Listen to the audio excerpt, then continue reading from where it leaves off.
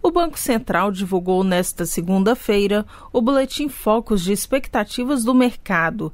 Segundo as informações, o IPCA, Índice de Preços ao Consumidor Amplo, deve ficar em 6% este ano, uma queda de 0,4 ponto percentual em relação à estimativa da semana anterior.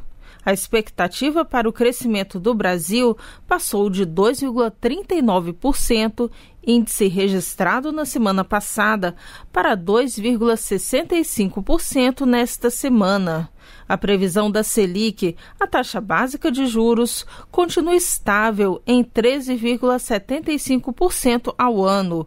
O câmbio também mantém a mesma projeção há oito semanas, em um dólar, valendo R$ 5,20.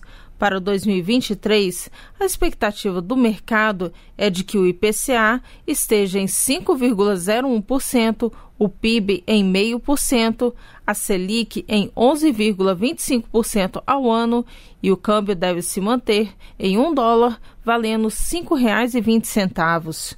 O relatório Focus resume as estatísticas calculadas considerando as expectativas de mercado.